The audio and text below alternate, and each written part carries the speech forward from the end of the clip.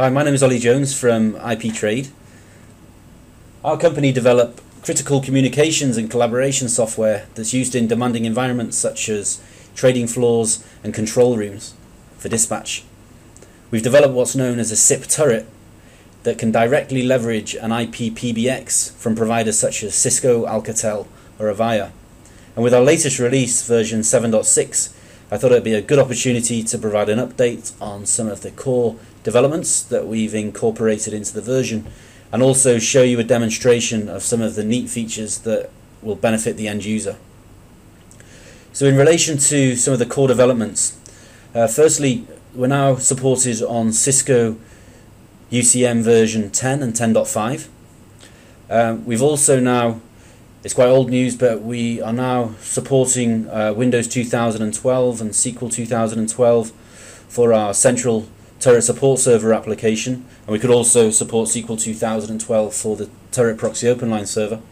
Um, also with the Turret Proxy OpenLine server, we can deploy it as a hardened appliance for our virtual installations. So if you're using something like VMware, we've got a much more efficient and easy way to roll out TPO instances when and when the, where they're required.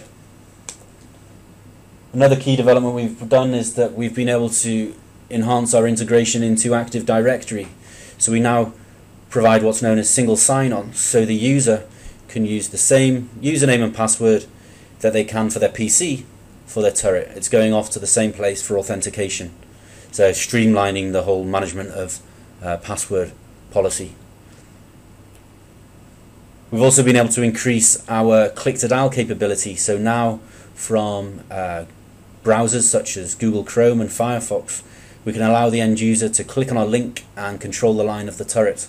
So making it faster for them to uh, dial a dial a contact, um, dial a number when and when they need to. Um, we have also released something that's quite exciting. It's a new product. It's called our T3 Flex basically now with any Windows 7 device we can turn that into a fully functional and featured turret. So that's got great use cases for things like disaster recovery, mobility, allowing a user to scale the floor quickly and offer turret functions um, to a wider audience. It can also be used for users that don't necessarily want a physical turret on their desk and they want to reduce um, the footprint on the desk and they want to wrap more of the voice application into the desktop. Uh, T3 Flex allows that and it's available with 7.6 so I'm probably going to uh, provide an additional video for that, a separate one to focus purely on that that I'll put up onto this channel uh, when it becomes available. Now for the features that I wanted to show you, um, there are a, a large set of features that are available in um, 7.6 but I wanted to focus on three for this video. Uh, the first is called Crosstalk. Uh, the second is called Push to Talk notification on handsets. And the third is a private button for recording. Um, so Crosstalk, just to give you a picture on a use case for that. Um, say in a trading floor environment, just probably apt because I have a, a trading turret profile in front of me. Um, sometimes a trader may need to call a colleague over to their desk and they want to uh, participate in a call, but they don't necessarily want to do it by going back to their desk or to another position and then joining onto the line. They simply want to join onto the call without having to put it onto loudspeaker. So we now enable a user to join an existing established call on the second handset from a single button press. So to do that, I'll show you by placing a call into uh, the mutual funds desk so uh, the call's now coming in. I'm going to answer that onto my handset one. And as usual, you'll see that there's some there's been some additional features that are made available to me at the bottom here.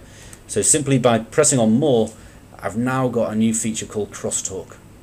If I press on Crosstalk, it's going to activate the second handset and all three parties, handset 1, handset 2 and the far party are now in a full duplex conversation. Everyone can participate um, if you wanted to remove that participant, it's simply a matter of pressing on crosstalk again. It's going to remove that caller, uh, your colleague, from the call. So simple to do. All I've had to do in terms of configuration for that is through the turret support server I've gone into the shared group and rolled out the crosstalk feature, enabled the setting. I could do that, say, on a, a, shared profile for a group of users, or I could do it individually on the user profile. Now, the second one I wanted to talk about, second feature, is the push to talk capability. Um, so, for those that have seen the handsets, the physical handsets that we have, you'll know that there's a big switch on the back that with a light that shows you the status, whether or not you've got that handset active. If it's in an inactive state, then the voice is not going to be passed down that handset. If it's active, then you know that um, the far party is going to hear what you say down the handset. However, when you've got that handset to your ear, it's not always easy to know the status of that switch. So um, what you'll see now in the handset controls is that we've created the handset 1 and handset 2 we now have a colour associated to the handset. So you'll see one handset 1 is blue, handset 2 is greyed out. So handset 1 is in an active state, handset 2 is um, in a muted state, the switch is off. You can choose whether or not you want that colour to be blue or red um, and also you could have either like handset 1 red, blue and handset 2 red and vice versa. You've got the option and it's again done through the turret support server. So just to show you how that might look, if I just switch on handset 2 of my turret sitting next to me, uh, you'll see now that it takes control of the handset and I get that blue notification to show me that it's live. If I was in a muted state, so switched it off, and I was going to use the push to talk paddle on the handset itself in the inside of the handset, when I press on it, you'll see that it lights it up, it lamps it up. So you get that push to talk capability. So really, that's your push to talk notification. Again, that's um, administered through the uh, turret support server. The thing that is needed for the uh, push to talk notification to work is that you need the expansion module on the turret and you also need to be running uh, release 7.6. So now the final feature that I wanted to show you was the private button. So a use case for that, say in a trading floor environment, would be that um, the trader is making a personal call and doesn't necessarily want that recording to be sent to the logger. Or they may be listening to a TV audio stream and they want to turn off the recording. Um, or for compliance reasons, they just don't need that line recorded at all. So now, just to show you how that might work, I'll place a call into the equities desk. And so,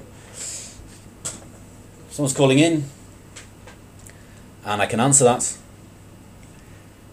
And again, through my More button to see the features, the soft keys that are available to me, if I press on here, I'm now going to be able to see this private button. So if I click on the private button, it now stops the recordings being sent from the turret to the logger, only for this call. If you've got other calls in progress on your speakers, on your other handset, then those, and they are in a, set in a, a um, recording state, they're not set to private, then they will be sent to the logger. However, this call, I've marked it private, so it's not no longer recorded. Um, just to show you how that might look, so if I join from another user, so I'm going to join from another position here, Trader 2 is now joined onto that same call, and you'll see I get the bright toast in the top left hand side, and what you'll notice is that Trader 1 and Trader 2, Trader 2 now has the red light against their, their name. That is because they haven't marked the call private. So that voice conversation is still being sent from their turret to the logger. If the Trader 2 marked the call private, then you're going to see that that's recording status uh, disappears. Or if they both set it back to active recording state, then you'll see that both lamps up. So that's the, the private button. That again, that needs to be done from the turret support server. That can't be enabled or disabled by the end user themselves. That has to be done from the central administration platform. Uh, finally, I wanted to show you the uh, recording replay to turret applets. Um, so you'll see on the bottom right hand side I have my recording applet here. And what this allows us to do with a number of leading voice recorders, um, we've integrated to provide a replay to turret directly to turret feature. So here I can search last call, last hour, last day, or search through a series of days. And simply by pressing on, uh, say, the last day's call, I'm now going to pull back the recording from the logger for that um, individual call. When I play it back, it's going to play it back directly to my handset. Uh, so an easy way for an end user to quickly navigate through their calls and retrieve a call without having to go and talk to an administrator um, and slowing down the whole process of, of replay. So if I highlight the call, it gives me a, WAV, uh, a bar, a control bar, and if I press on play, it's going to replay that directly to my handset. You'll actually notice when it when it um, replays, it automatically engages the private button, so, because you don't want that recording going back to the logger twice. Uh, so there you have it. Those are the three features that I was hoping to show today, and also got to show you the replay to turret. So I hope that's been useful. Um, for more information on all of the feature set available within version 7, uh, please contact one of us at sales or pre-sale support, and also visit our website at www.iptrade-networks.com.